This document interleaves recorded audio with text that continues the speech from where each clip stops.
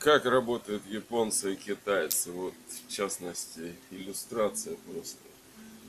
Опять-таки, поржать над нашими, ну так скажем, неумными людьми, чтобы не материться, которые, которые тут якобы экономикой занимаются, поддерживают. Здравствуйте, господа. У меня вот в колхозе утро я веду переговоры с китайцами по поводу, ну, переговоров всегда много, но вот по поводу корпусов. Вот задаю им вопрос такой конкретный. Там, бла-бла-бла, в общем, мне нужно пару корпусов для проверки. Это они мне высылают сразу полностью, что у них есть. Но суть не в том, да, что индивидуально, а когда я говорю, вот мне нужно там пара корпусов, ну просто чтобы проверить.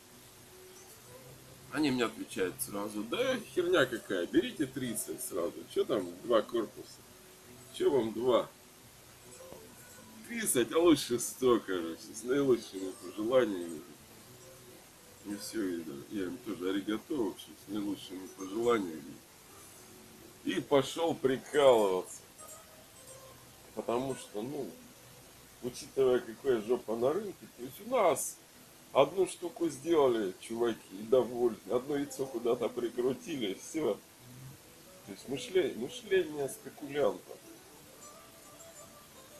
Такие количество усилков, нормализаторов, как я делал, наверное, никто до сих пор Москву пучит.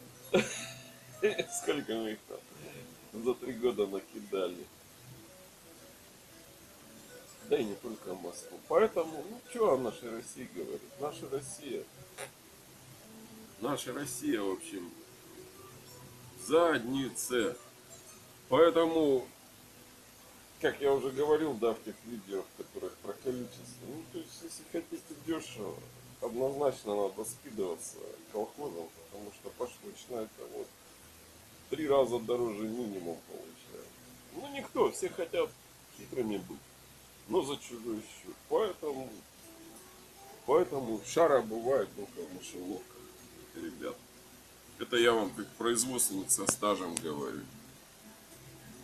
Поэтому не имейте иллюзий. Ну и так далее. В общем, до свидания.